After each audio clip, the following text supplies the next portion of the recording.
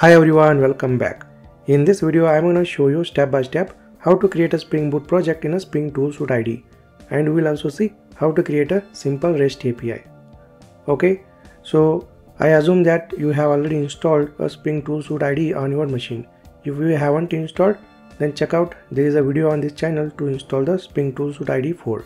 Okay, just open the Spring Tool Suite IDE and in order to create a Spring Boot project, go to the file menu and choose new and here select spring starter web. And notice here the spring initializer integration.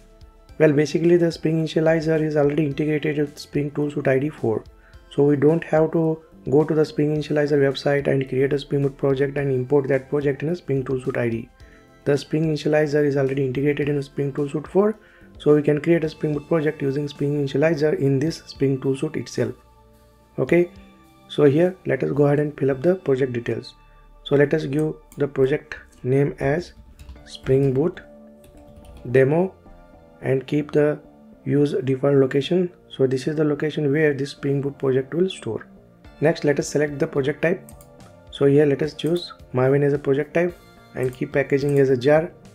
And let us select the java version 23 so as of now the latest version of java is 23 so let us choose java 23 over here and here let us choose the programming language java. You can choose kotlin groovy but in our case we are going to choose java. Next let us give group id as net.javaguides you can give any group id that you want. Next art artifact id is same as the project name so let us keep as it is. Next let us give description as demo project for spring boot and package net.javaguides.springboot perfect next go ahead and click on this next button over here. And here we need to choose the dependency. As we are building a rest api in a spring boot project so we need to choose spring web de dependency over here. So just go ahead and select spring web dependency. Okay that's it. Next here we have a spring boot version. So this is the latest and stable version of spring boot as of now. That is 3.4.0 next go ahead and click on next button and then click on finish.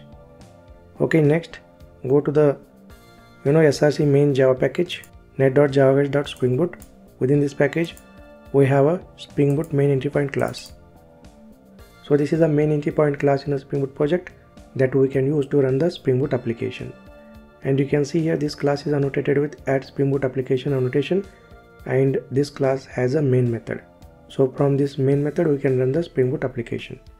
Okay next let us go ahead and build the simple rest api so right click on this package new and then choose class. And here let us give class name as welcome controller.